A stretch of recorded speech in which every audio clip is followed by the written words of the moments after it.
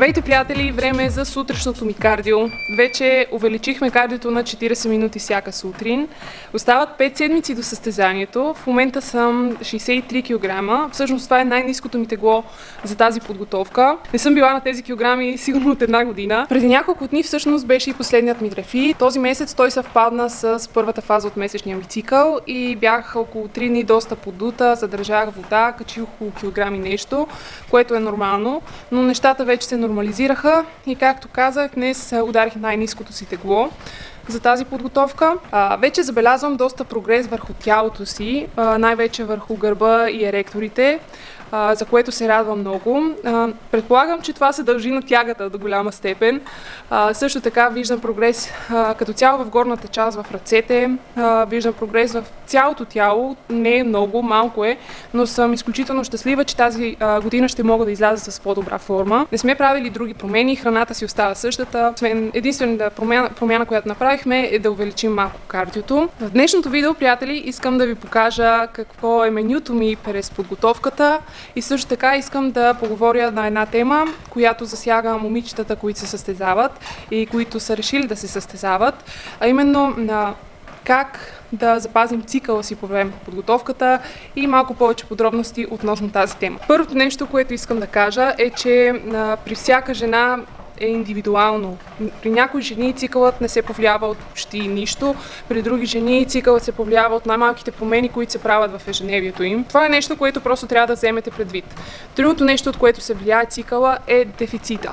Ако започнете състезанието с твърде голям дефицит още от началото, то вероятността да загубите цикъла си още в началото на подготовката е голям.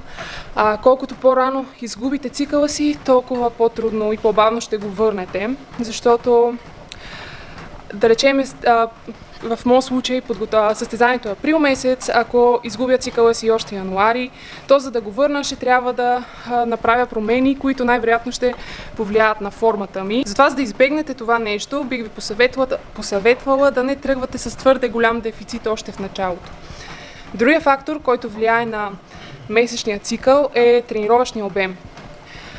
Ако а, увеличавате постоянно тренировъчния си обем и стигнете до нещо от сорта на 20-25 повторения, да речеме за базово упражнение, казвам това като пример, защото е нещо, което съм срещала при мои познати.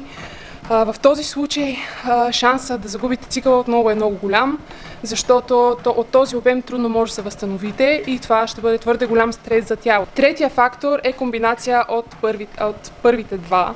Тоест, твърде голям калориен дефицит и твърде голям а, тренировачен обем. Виждал съм доста хора, които правят а, това в, късни, в късен етап от подготовката, да речеме на 4-5 седмици от състезанието. Те намаляват калориите, увеличават тренировъчния обем с цел по-голям енергоразход, което според мен е противопоказно, защото в много от случаите ще се случи точно обратното на желания ефект най-вероятно момичето ще почне да задържа вода, най-вероятно ще загуби цикъла си, няма да се възстановява, няма да се подобрява формата и тъй като тялото ще бъде подложено на твърде голям стрес.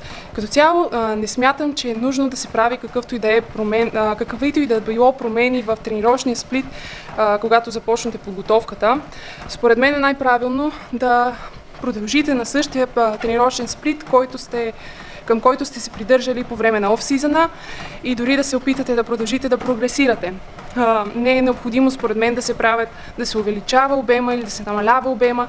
Единствено към края, ако е необходимо, ако вече не можете да се възстановявате, ако се чувствате твърде изморени, тогава според мен може да се намали тренировъчния обем. Друг фактор, който също влияе на, на промяната в месечния цикъл по време на подготовката, са стероидите. За жалост, за жалост има момичета, които приемат стероиди, което е абсурдно и то за бикини фитнес. Да, това нещо, стероидите, приятели, ще объркат до голяма степен хормоните в женското тяло и като цяло всички процеси. А, не бих съветвала който и да е, което и да е момиче да си помисли изобщо за стероиди. А, според мен те не са необходими в тази категория и като цяло според мен не е, не е добре за жена да приема стероиди заради големите странични ефекти, като дебеляване на гласа, промени, физиологични промени в някои части на женското тяло, възмъжаване, окосмяване и така нататък. Има адски много странични ефекти, за които е хубаво да се поинтересувате, ако това нещо изобщо ви е хрумнало да взимате стероиди. Но като цяло това са факторите, които влияят до голяма степен на месечния цикъл. Принцип е възможно и до някаква степен нормално атлета да загуби месечния си цикъл към края на своята подготовка, тъй като тогава тогава просто се преминава малко а, границата на нормалното. Нещата са по-екстремни, тъй като се опитваш да а, извадиш най-добрата си кондиция. Но Както казвам, това е нормално към края на подготовката. Ако това се случи, да речем, последния месец от а, подготовката, то а, времето, през което вие ще глътувате и ще продължите да бъдете на ниски калории, няма да е твърде дълго, така че а, ще можете да върнете цикъла си доста по-бързо. Като цяло това са факторите, които биха повлияли на месечния цикъл, за които се сещам всъщност в момента. Ако се сещате и вие за нещо, напишете го в коментарите. Сега ще довърша кардиото си, тъй като вече от 10 минути само ходя, искам малко да го забързам. След което ще ви покажа моята закуска и ще се видим по-късно.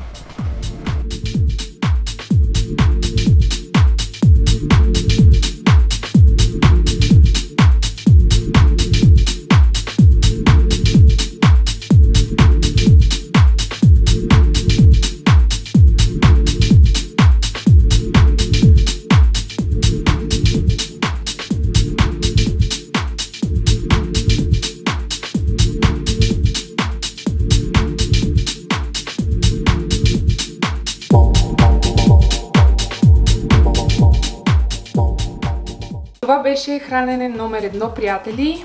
А, това е закуската ми всеки ден. Сигурно вече от повече от половин година не съм я променяла. Доста често споделям тази закуска в Инстаграм и супер много хора ми пишат как точно да си я приготвят. Затова а, реших да споделя в това видео. Става супер лесно. Мисля, че всъщност а, причината да стане толкова кашата е в овеса.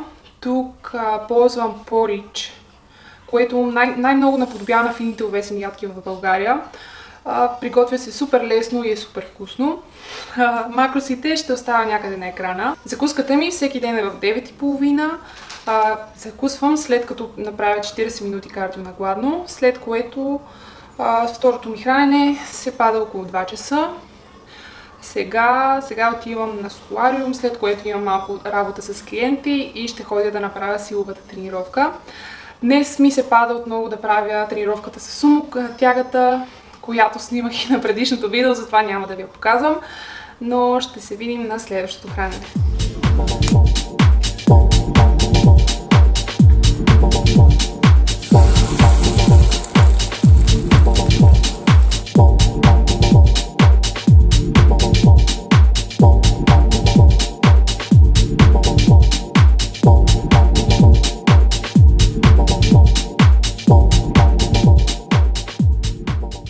Това беше второто ми хранене за деня, приятели, което всъщност а, се състоя преди около 3 часа, 4, но трябваше да свърша малко работа след, след тренировка, затова чак сега снимам.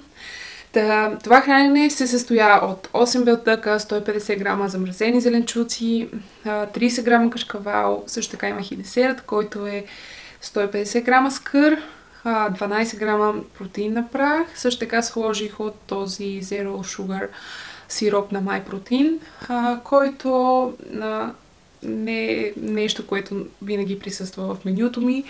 Просто го взех последния път, когато правихме поръчка, защото исках да го изпробвам, но не съм особено впечатлена да не мисля да си взимам за бъдеще. След тренировъчното ми хранене всъщност е доста обемно и спокойно може да бъде разделено на две отделни хранения, но аз съм структурирала така менюто си, че да се чувствам добре, че да се чувствам сита. Аз работя на компютър, т.е. Нямам, не, не изразходвам много енергия и може би това е една от причините да се чувствам добре, когато имам по-малко хранения. В този етап от подготовката по принцип е съвсем нормално човек да е гладен, а, тъй като калориите стават доста ниски. Искам да ви дам няколко съвета относно това как, какво да правите, за да не се чувствате толкова, толкова гладни.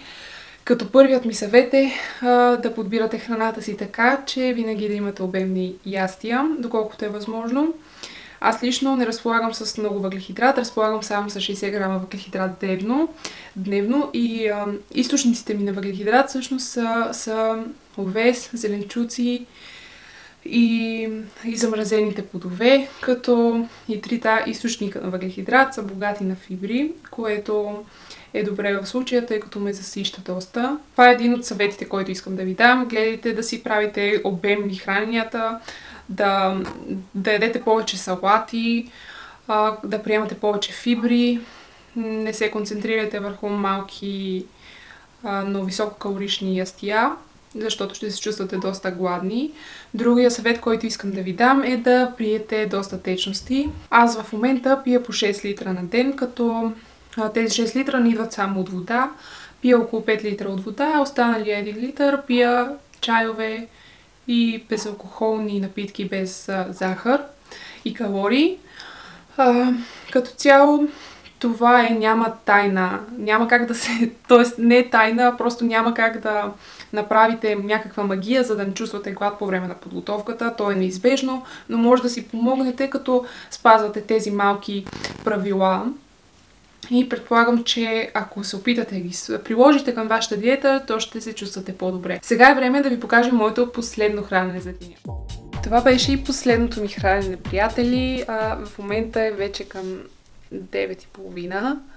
Така че сега ще си пия добавките, които ви показах в предишното видео. Ще гледаме най-вероятно филм за звики и ще заспивам, защото а, трябва да ставам утре към 7, за да правя кардио.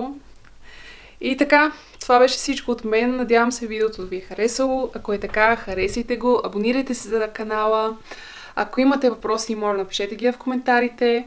Също така не забравяйте да ни последвате и в социалните мрежи, най-вече в Instagram, където се стараем да бъдем много активни и да възподеляме повече от нашето ежедневие. До следващия път!